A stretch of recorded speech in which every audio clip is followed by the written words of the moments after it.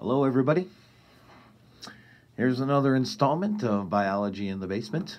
Um, uh, you teach the class edition, I guess we'll call this. Uh, we're leaving it up to Jane and Nick. Last time uh, we had Bailey and Emily. Shout out to them for doing a good job for their slideshow. So now we're going to hear from Jane and Nick, and they're going to talk about echinoderms, right? That is the next one on your list. If you're going in order, I covered bacteria, protists. Uh, Emily and Bailey did cnidarians. We are on to echinoderms. So we will have a lecture by them. So let's get started. Of course, we need a fact of the day so we can get started. And here it is. In March of 2017, researchers were given fragments of Hitler's teeth, and they found that Hitler definitely died in 1945 from taking cyanide and from a bullet to put all those conspiracy theories to rest. In case you didn't know, uh, many Nazis fled to South America, uh, and they think that uh, Hitler was one of them, where he faked his own uh, suicide and fled to South America with the rest of the uh, Nazis who couldn't really live in uh, uh, Germany anymore after they lost World War II. So, um, finally, in 2017, some Russian researchers put that myth to rest. So, there you go. One less conspiracy theory out there for you, Spencer.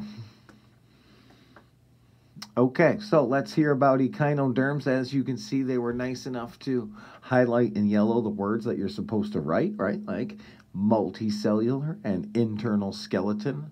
Those are good, simple terms to use to fit in those small squares that you have to write. Um, echinoderms are animals, right? Echinoderm just simply means um, spiny skin, right? Derm meaning skin. Okay, so uh, we have here their classification slide where they are eukaryotes in their domain, they're animals uh, in their kingdom, and then that is where they sit, right? They have um, a phylum as their group. And so there are classes which they've included their subgroups here as well. Good job. All right, on to some other basic characteristics that you can write in your slideshow. Right, so for are they vertebrates, invertebrates, uh, single, multicellular? They have those terms, as well as all the way down towards the end, uh, you would write they are cold blooded, right, where they don't um, have blood, technically, as you can see in this water vascular system, but they do respond to the temperature of their environment, making them cold blooded. Um, a neat adaptation, right, that they mentioned here is what is called the water vascular system. The cnidarians have something similar to that where they just kind of suck in uh, water and uh, let it flow through, but their water vascular system is much more complex. And so you can actually write water vascular system to cover respiration and circulation. So, um, and even um, really digestion, but we'll get to that in a minute. Um, so, yeah, circulatory and respiratory system, you can just put the water vascular system for both of them. Here are their different forms that you'll find most of the time when you think of echinoderms, you do think of your sea stars. Um, but there are also cool things like sand dollars, sea lilies, sea urchins, and these creepy sea cucumbers. Where's their habitat? Pretty much all marine, right? Uh, which means salt water. Um, but that is.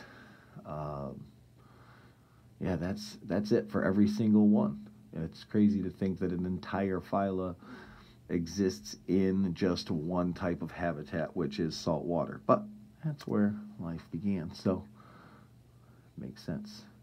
Okay, so we've got uh, diet and habitat. So here is the diet side. Uh, they are pretty interesting. If you're ever bored on the internet, um, you can watch a um, uh, uh, sea star just crack open a clam and just suck out the inside. It's pretty gross. Anyways, they eat a lot of different things, mostly other uh, organisms.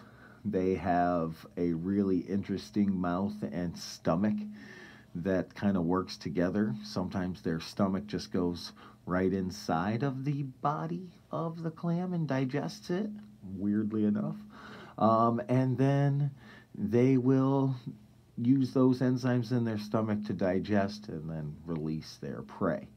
So for digestive system, I would just put enzymes.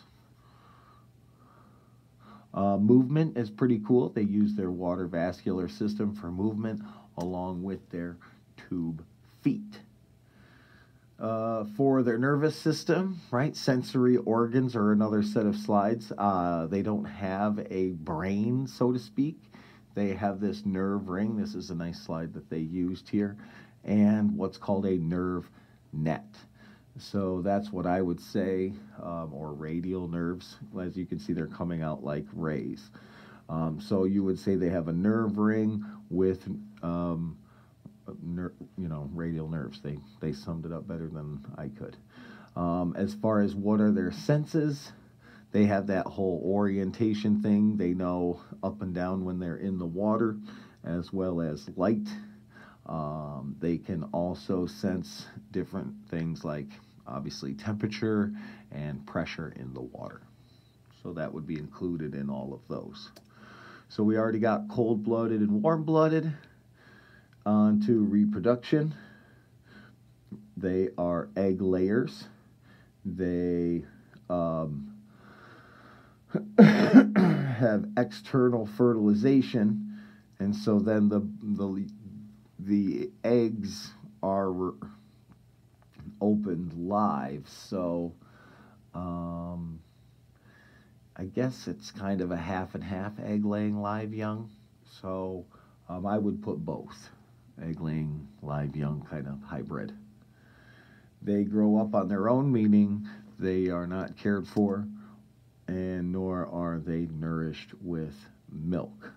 Um, here we have some examples of some species, sea urchins. Um, we'll watch this video another time, um, but here are some of the echinoderms that are actually a threat to coral reefs because coral reefs are a living thing and they consume them. Here are some other great facts. Um, they move very they move very slowly, which is also cool. Um, they have a lot of importance in the ecosystem itself as far as being decomposers mostly and um, how the other things live there. Uh, so they they may seem like a small thing to you, but when it comes to the ocean, they are kind of a big deal. So, very kind of them, right, to uh, put this back up here for you to see. They are multicellular invertebrates with an, um, I wouldn't really call it an internal skeleton, but they do have this, you know, cal- calciferous or whatever, um, calcified skeleton. So we got to give it some kind of name so we can say it's an internal skeleton. Um, and enzymes, right? That's all you have to really put for their stomach and they move by the tube feet in the water vascular system, eye, some other sensors, uh, depending on the species, since this is a whole phylum of living things, but they are cold blooded. I would say egg laying live young hybrid because the eggs are out there, they get fertilized, and then they grow up. So it's kind of a weird half and half situation. And then they got the rest of them. So good job, uh, everybody there. That was what Nick and Jane. So that covers the echinoderms, and I'll be back with things like mollusks and worms. All right, take care.